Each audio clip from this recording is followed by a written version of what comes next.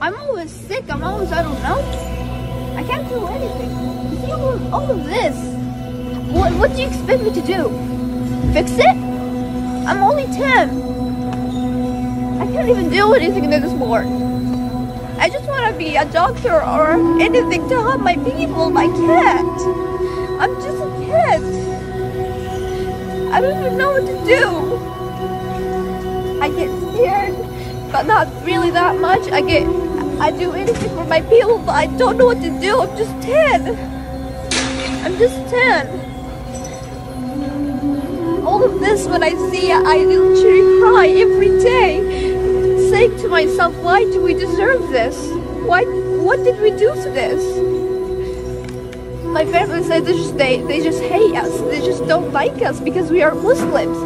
Why does Muslims act for you like that? see all of the kids around me? They're just kids. Why wouldn't you just send a missile to them and kill them? It's not fair. It's not fair.